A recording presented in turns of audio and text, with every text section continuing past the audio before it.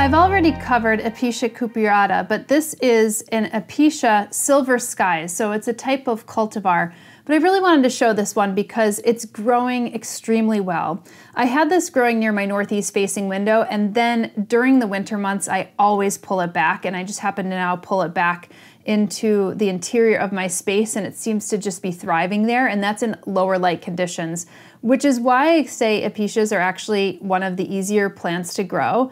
Um, there are probably more finicky ones out there, but for this one, this one has not been very finicky for me. And I didn't want to make the same mistake because I had a, an Episcia strawberry patch. You might have actually seen one of the episodes from Plant One on Me because I was like growing it in a terrarium.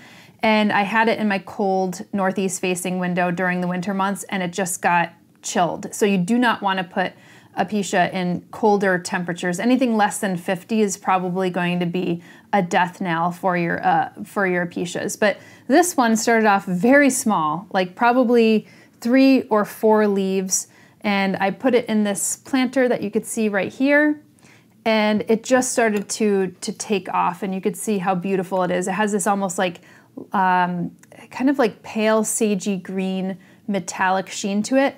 And the flowers are just so incredible because how pale and green this is. The flowers are like bright red. Um, so they're, they're very striking. And the flowers actually last for a very long time.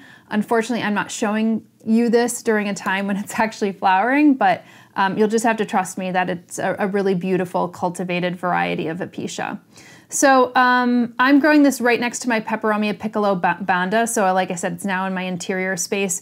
But from my experience, Episcia seem to grow very well in lower light conditions. So if you're somebody who you know only has a little bit of augmented like grow light or maybe even it's just a light bulb light, then this plant is something that you may want to try.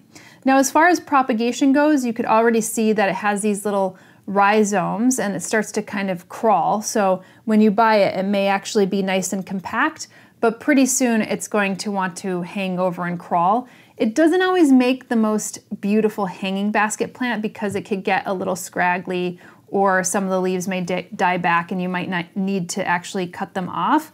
But this is actually one of the good ways to, to propagate the plant is actually cutting it off by the rhizome or maybe cutting off a leaf, um, a leaf tip uh, like the, the tip of the stems in order to be able to, to propagate these.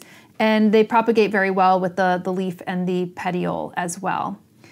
What else can I say? No pest pressures on my Episcias and any of my Episcias, so they've been pretty pest free over the course of the many years that I've been growing them. And um, as far as fertilizing goes, you could give them a really well balanced fertilizer, and you could do it maybe on a bi weekly to a monthly basis during the, the growing season, which would be spring and summer. And, uh, and then give them a break during the fall and the winter months. I'm sure they would appreciate it.